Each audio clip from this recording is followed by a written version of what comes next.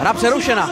Přesně po 23 minutách tohoto zápasu, protože to je číslo, které symbolizuje kariéru Romana Čekmánka. Nosil je na svém dresu jako své nejoblíbenější a tak i ve Zlíně.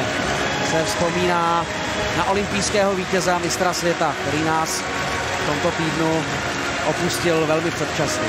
Skvělý brankář a skvělý kluk. Já měl to štěstí, že jsem s ním byl třeba v 18, to znamená, že jsem s ním nějaký čas strávil a byl to kluk, který neskazil žádnou srandu a dotáhl to hodně daleko. Kdo může říct, že je olympijský vítěz, že má pět titulů a tak dále. Je škoda, že odešel prostě takovýhle chlap tak brzo.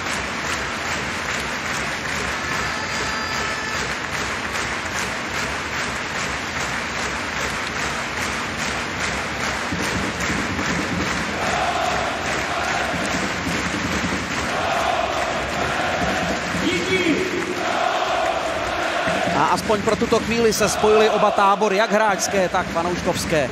Ve vzpomínce na Romana Čekmánka, jehož jméno teď rezonuje stadionem Luďka Čajky. No, ono je to i logické. V podstatě i ty mé vzpomínky eh, jako spoluhráč eh, jsem ho znal jako Zlíňáka, jako protihráče už jako Vsetíňáka.